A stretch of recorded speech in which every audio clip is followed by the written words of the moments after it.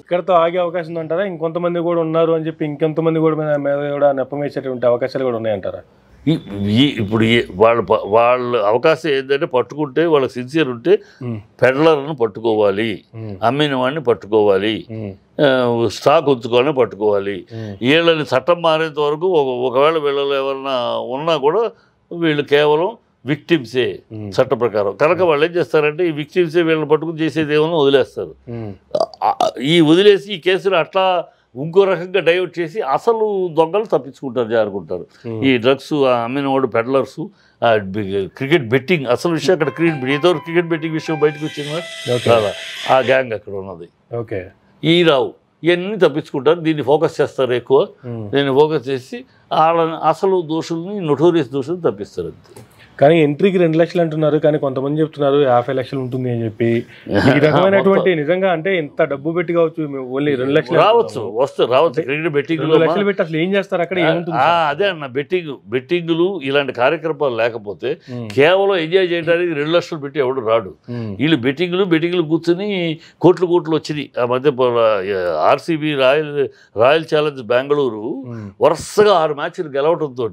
ఓడిపోతుందన్న దాని మీద చాలా మంది కట్టారు గెలుస్తుందని ఈ బ్యాచ్ అంతా గెలుస్తుందని కట్టారు అందరూ ఓడిపోతుందని కట్టిన వాళ్ళే.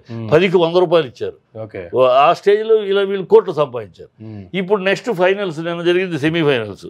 ఈ సెమీఫైనల్స్ కూడా ఆర్సీబీ గెలుస్తుంది ఓడుతుందనే పెద్ద చర్చ ఓడిపోయింది అనుకోండి. సో ఆ బెట్టింగ్ అరేంజ్మెంట్స్ కోసమని.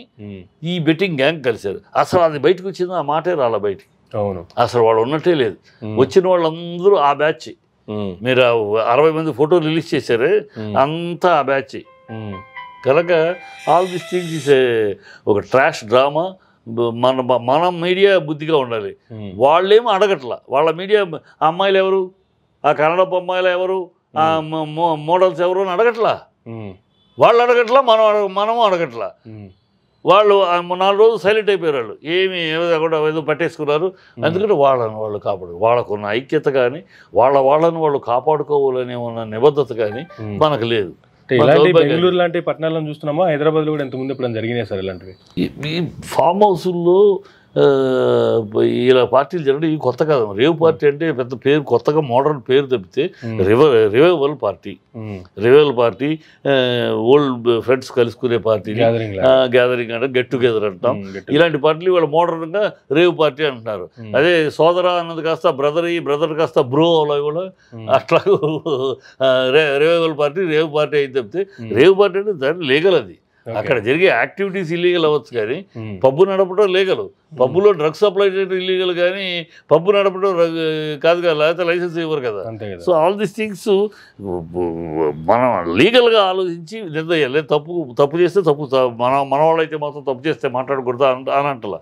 తప్పు చేస్తే మాట్లాడాడు ఆ తప్పు ఆధారాలు మీ దగ్గరే ఉన్నాయి. ఆధారాలు ఉంటే మాట్లాడు యాజ్ ఎ సీనియర్ ప్రొడ్యూసర్ ఇండస్ట్రీకి కావచ్చు లేదంటే మన యువతకు కావచ్చు ఫైనల్గా ఏం సందేశం ఇస్తారంటే ఏం చెప్తారు సార్ మీరు? ఏ సందేశం అంటే అసలు నాకు నా నేను ఎందుకంటే ఎక్కడో ఒకళ్ళు అలా తప్పితే సినిమా ఇండస్ట్రీకి వచ్చేవాళ్ళు ఎవరు? మా మీద పడి ఏడవద్దు అని చెప్తున్నాను మీడియా కానీ మీరు దాని సినిమా వాళ్ళ మీద ఏదో డ్రగ్స్ ఇక్కడే మందు అంటే ఇక్కడే వ్యభిచారం అంటే సినిమానే అని దౌర్భాగ్యపు ఆలోచనలో ఉండదు మీరు. ఇక్కడ సినిమాకి వచ్చేవాడు సినిమా ఫీల్డ్కి వచ్చేవాడు ఎన్నో కళలతో వస్తాడు. ఒకడు డైరెక్టర్ వాళ్ళని వస్తాడు ఒకడు హీరో వాళ్ళని వస్తాడు ఒకటి హీరోయిన్ వాళ్ళని వస్తుంది. ఒక రచయిత వాళ్ళని వస్తాడు. రకరకాల కళలతో వస్తారు ఆ కళలను పండించుకోవడానికి నానా కష్టాలు పడతారు. ఒక పూట తిండి లేకుండా తిండున్నా లేకపోయినా ఆ గోల్ కోసం ఆ కళకు పండించుకోవడం ఇలా కష్టపడతారు తప్పితే అందుకు వస్తారు తప్పితే ఇక్కడ డ్రగ్స్కి స్థలము ఇక్కడ ఫ్రీగా డ్రగ్స్ ఉంటాయి అని అని పిచ్చి అపోహలు. ఇక్కడ వచ్చేవాడు ఎవడో ఒకడు దారి తప్పేవాడు ఉంటాడు. ఆనాడు కూడా అందాల నటుడు హరనాథు దారి తప్పి తా తాగుడు పోగొట్టుకున్నాడు మహానటి సావిత్రి దారి తప్పి పోగొట్టుకుంది. మహా కమెడీల్లో అత్యుత్తమ కమెడీని ఇప్పటికి మర్చిపోలేని రాజబాబు. అట్లా వీళ్ళకి గుణపాఠాలు ఉన్నాయి.